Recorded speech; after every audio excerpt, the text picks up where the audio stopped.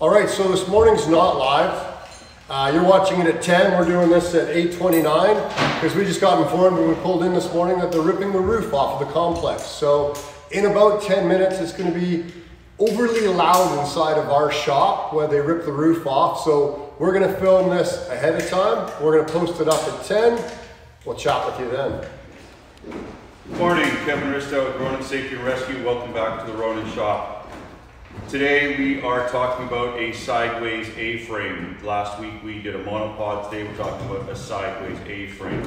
And what's nice is that if you have access to a TerrAdaptor or a Vortex, uh, and you're used to using a tripod configuration, whether an equilateral tripod or a, a lazy leg or easy leg tripod, you can split that unit into an A-frame and a monopod and which is sort of essentially what we're doing here. We did use a vector last week, but um, so when you take the leg away and you use it as a monopod somewhere else, your remaining A-frame, you can set it up either as a sideways A-frame like we have here today, or a bipod. And bipod is pretty interesting because we actually can't lever that out over the edge. But today we're talking about the sideways A-frame.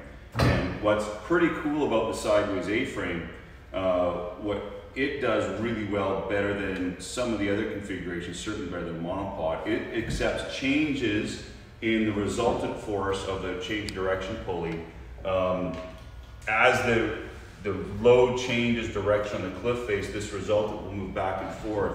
It just needs to stay within the footprint, in between the front foot and the rear foot of the sideways A-frame. So we have a lot more latitude to change our resultant and still maintain a stable artificial high directional. So what we've done to stabilize this thing is we've set it up in an A-frame configuration, sideways meaning it is perpendicular to the edge, which gives us this, this long front to back footprint. And we've stabilized it a couple of ways. First, we've secured the feet. The front foot is, has been screwed down to the wooden floor, so it is immobile. And the rear foot, we haven't screwed it down, but it's butted up against the back wall. And remember, what you're trying to anticipate when you load up an artificial high directional is what happens to this thing in compression and what happens in tension. When we load this, when we compress it, this rear foot wants to go backwards. Because it's butted against the wall, it can't go backwards. So uh, that's the direction it wants to go, so I really don't have to do much else to the rear foot. Now, we do also need to consider what it might want to do in tension. And if we were pulling this down on the head of this tripod, we were using this as an anchor frame instead of a change of direction, uh, that rear foot might want to lift. In which case we might want to do some more work to secure the rear foot. But we're using as a change of direction, a resultant in the legs, so we're not concerned about that lift this morning. Uh, we've also, because it's just two legs stood up, we need to make sure it's not going to tip over side to side. Uh, so we've done a couple of things on this side. We've just gone up one of our joists in the roof, uh, some 8 mil cord uh, on wrapped around twice to a munter hitch, so it's a munter mule blocked off, um, some hand tension in there. On this side, we started with this cord here, um, this black cord, tied to the head of the tripod, guyed down low to one of our anchors, three to one into a clove hitch. And we're pretty happy with this guy, except that this angle is tight, right? And we talked last week about how our guy angles want to be at least greater than 30 degrees. Um, ideally more than 45. And we looked at this one, we said, this one's a little bit tight. It's a little bit too steep, and it doesn't provide uh, as effective a guy as if it's got a little bit more um, a, a, wider angle. So we added in this other guy, and this isn't to a, a great angle, but it's really just for demonstration purposes. Again, tied into the head of the tripod. And for this one, we've done a classic trucker's hitch, albeit trucker's hitch with an alpine butterfly instead of a fig inline figure eight. So three different methods of tying off with small diameter cordage. Uh, and we've got stable tripod, the feet are secured, uh, unless we put force pulling on the uh, directional tripod that way, uh, it's not going to go anywhere, but in that case we would secure the foot. Um, because we usually change the direction, we're actually going to be pulling down, putting some compression, so we aren't concerned about a tensile force going forward.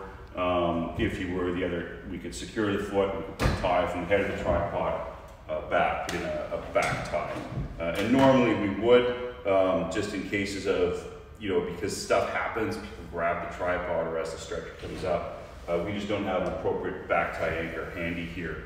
Um, but anyway, let's get back to the whole reason we're doing this is to raise our main line, which has got a single rope system for demonstration purposes, off the ground, off the edge. In this case, because our change direction pulley is it's within 30 centimeters of the edge, so we've really broken that angle down quite a bit and reduced the friction, uh, and means any edge transition is going to be a whole lot easier.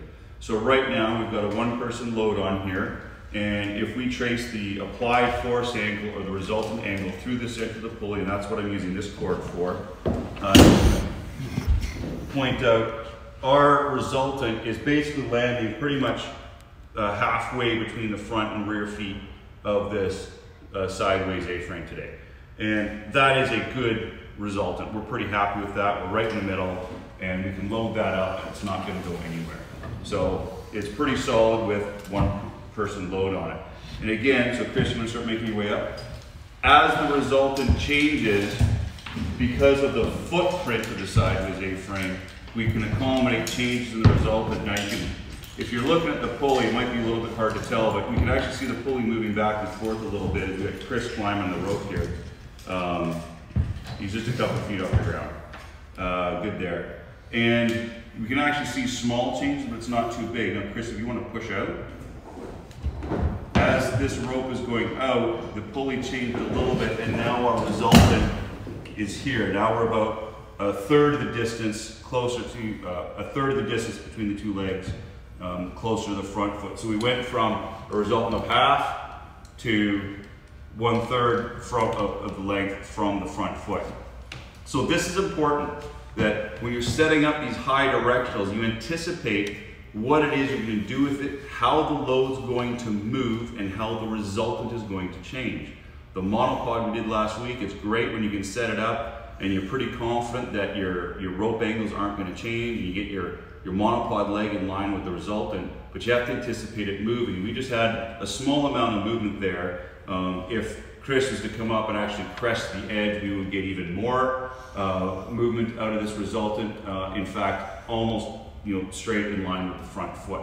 So you really need to figure out what the resultant angle, or picture, visualize what the resultant angle is going to be ahead of time, and also visualize what happens as the load comes up and down, as the load crests the edge, what happens if we are, if we were raising Chris, uh, he was climbing this morning, if we actually put an MA system and hauled on here, we'd be, there'd be some friction in this pulley, we'd be actually pulling backwards on the pulley. Um, so all these things are going to cause different forces on the HD that you want to uh, anticipate. And it takes some practice. If you have an HD, you want to set it up uh, dry land or on the ground with some weights, apply some forces, do some hauling, um, play around with it, see where the resultant goes, see how stable it is in different configurations.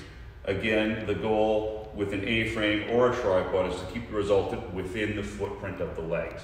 If the resultant goes outside the footprint of the legs, then we have to adequately back tie it to resist those forces. And that would, you know, perhaps that might be a, a subject for another uh, live feed for us. Thank you very much.